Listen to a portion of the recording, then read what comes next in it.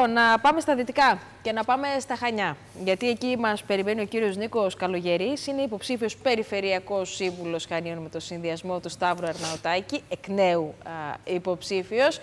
Καλησπέρα σας, κύριε Καλογερή. Καλησπέρα, κύριε Σφαγιανάκη. Σας ευχαριστούμε που είστε μαζί μας. Πολλά είναι τα ζητήματα που καίνε τα δυτικά της Κρήτης, που καίνε τα Χανιά. Όμως θα προχωρήσω τη συζήτηση και θα πω κατευθείαν στο ψητό, κύριε Καλογερή, γιατί χειμώνας βρίσκεται πρώτων πυλών. Υπάρχει μια μεγάλη συζήτηση για το τι γίνεται με τα ρέματα. Υπάρχει πολύ μεγάλη συζήτηση και για τι γίνεται για το τμήμα, για τμήμα του κλαδισού, όπου εκεί υπάρχει και μεγαλύτερη ανησυχία.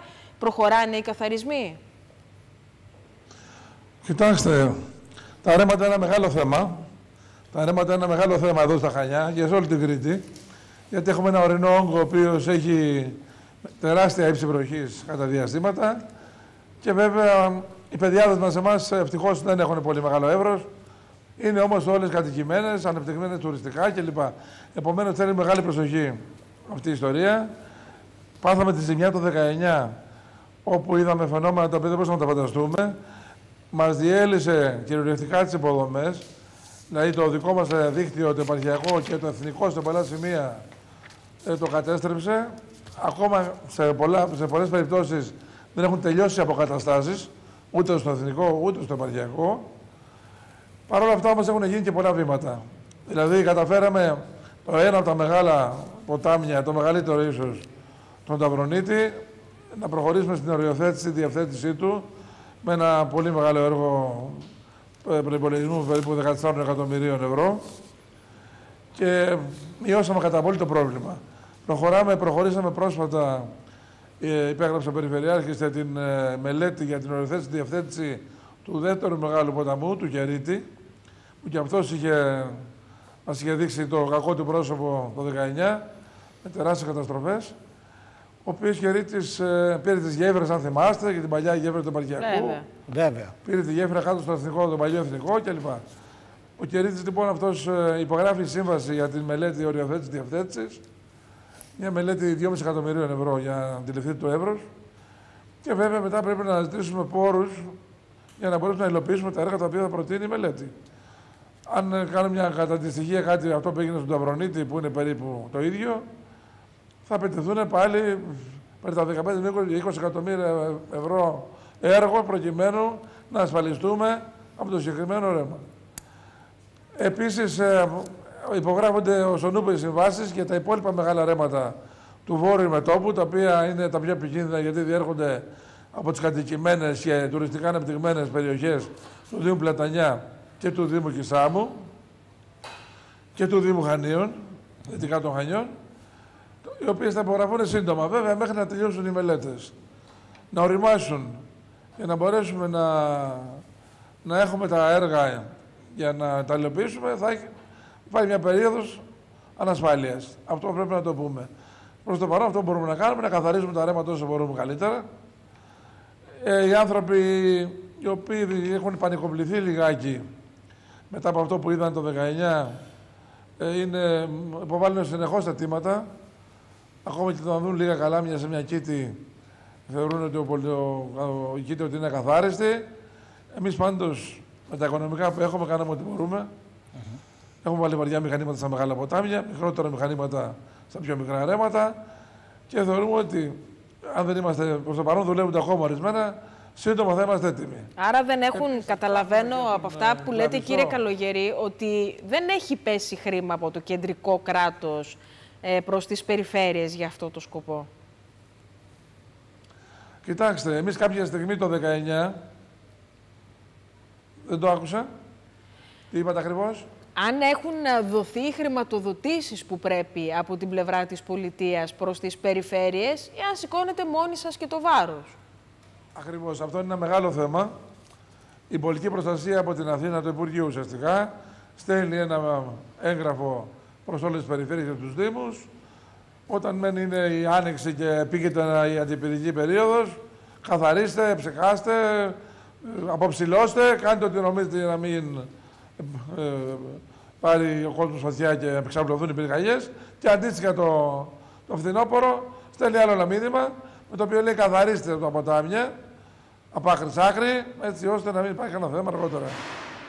Περί- Για το λογαριασμό δεν λέει ποτέ τίποτα. Ότι μας έχουν, και το έχει θέσει και ο Περιφερειακή, το πάρα πολλές φορές, μας έχουν φορτώσει με αρμοδιότητες χωρίς τους αντίστοιχους πόρους. Είναι μια μεγάλη ιστορία, αιματηρή για μας, αλλά δεν μπορούμε να παίζουμε την ασφάλεια του κόσμου. Εκτιμώ πάντως εγώ τα επόμενα χρόνια, επειδή με αυτά που βλέπουμε και συμβαίνουν ε, τόσο συχνά και στη χώρα μας και στην Ευρώπη και αλλού, το θέμα της πολιτικής προστασίας και της προστασίας γενικότερα του πληθυσμού και των περιουσιών του από τέτοια φαινόμενα θα πρέπει να μας απασχολήσει όλους. Εκτιμώ θα βρεθούν, θα προσανατολιστούν προς τα εκεί οι χρηματοδοτήσεις, έτσι ώστε να μπορέσουμε να κάνουμε πραγματικά σοβαρά έργα για να αντιμετωπίσουμε την, ε, την ε, κλιματική αλλαγή, η οποία έχει ήδη χτυπήσει την πόρτα. Κύριε Καλογερή, με τα οδικά έργα στο νομό Χανίων, πού βρισκόμαστε; Εντάξει, είναι και το μεγάλο έργο του ΒΟΑΚ, είναι και η σύνδεση του, με το αεροδρόμιο, με τη Σούδα. Πού βρισκόμαστε, ποιος είναι ο προγραμματισμός;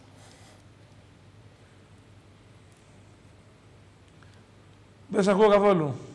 Δεν μας ακούει ο κύριος μας Καλογερής. ακούει. Να, να επιχειρήσουμε και πάλι, κύριε Καλογερή, σε ό,τι έχει να κάνει με το κομμάτι του οδικού δικτύου. Τις μεγάλες οδικές αρτηρίες, βασικές οδικές αρτηρίες, όπως είπε και ο Μπάπη ο Σαββίδης, για τον βόρειο οδικό άξονα Κρήτης και την, α, το κομμάτι της σύνδεση και με το Με αεροδρόμιο. το στη αεροδρόμιο Σούδα. και τη Σούδα, βεβαίως.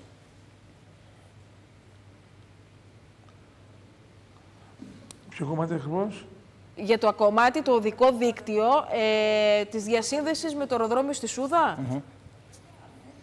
Η διαχείριση; Όχι, όχι. Η διασύνδεση, η οδική διασύνδεση, κύριε Καλογερή. Ναι. Κοιτάξτε, οι δρόμοι μας ε, έχουμε βασικές ελλείψεις υποδομές εδώ στα Χανιά. Έχουμε ένα εξαιρετικό και σύγχρονο αεροδρόμιο, το οποίο όμως συνδέεται με τον ΒΟΑΚ με έναν απαράδεκτο δρόμο. Ε, τώρα που ο ΒΟΑΚ ε, ε, προχωράει και από ό,τι φαίνεται ξεκινάει ο Σανούπο, από ό,τι μας είπαν δηλαδή, ετοιμάζονται να ανοίξουν οικονομικές προσφορές και πιθανότητα να ξεκινήσουν μέσα στο 24 τα έργα. Έχει μπει επιτακτικά και αυτή η ανάγκη να έχουμε έναν, όπως το προβλέπει και η νομοθεσία, να έχουμε έναν δρόμο αν- αντίστοιχου επίπεδου. Όταν συνδέει λοιπόν διεθνές αεροδρόμιο με άξονα κατηγορίας Α1 Α2, όπως είναι ο ΒΟΑΚ, πρέπει να συνδέεται με δρόμο με άξονα, με νησίδα New Jersey που λέμε στη μέση ακριβώς και δύο λωρίδες ανα, ανακατεύθυνση. Αυτό λοιπόν είναι ένα βασικό αίτημα το οποίο απασχολεί και τον νομοχανίων και, α, και το ρέθυμνο το οποίο θα εξυπηρετείται σε μεγάλο βαθμό τα επόμενα χρόνια από το ίδιο αεροδρόμιο, όπως και όλες οι δυτικές περιοχές των Χανιών. Επομένως, αυτός ο δρόμος είναι μαζί με το ΒΟΑΚ το υπαριθμόν ένα έργο το οποίο θέλουμε.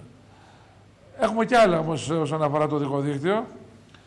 Αν υποθέσουμε ότι τελειώνουμε, όσο πώς τελειώνουμε, με το επαρχιακό δίκτυο το οποίο καθίσατε σιγά σιγά, πάει ο ΒΟΑΚ στο Καστέλι.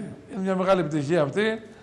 Επειδή το Καστέλι τα τελευταία χρόνια έχει τεράστια επισκεψιμότητα λόγω του μπάλου, των φαλασσάρων, του Λαφωνισιού κλπ. Δυτικά των Χανίων δηλαδή η κίνηση είναι κολοσσία το καλοκαίρι.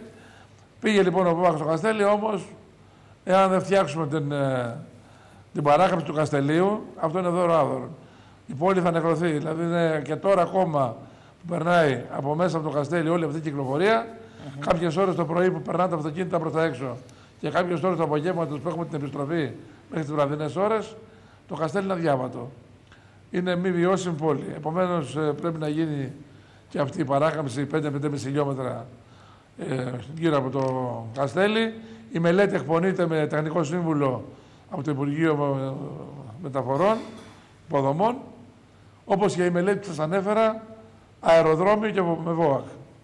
Εκτιμώ ότι αυτές πρέπει να τις τρέξουμε όσο το δυνατόν πιο γρήγορα για να βρούμε και τις αντίστοιχες χρηματοδοτήσεις. Μάλιστα. Κύριε Καλογερή, σας ευχαριστούμε θερμά που ήσασταν α, μαζί μας. Ε, παίρνουμε έτσι κι εμείς μια, μια εικόνα από την α, Δυτική Κρήτη. Σας ευχαριστούμε θερμά. Καλή επιτυχία, καλή δύναμη. Σας ευχαριστώ πολύ.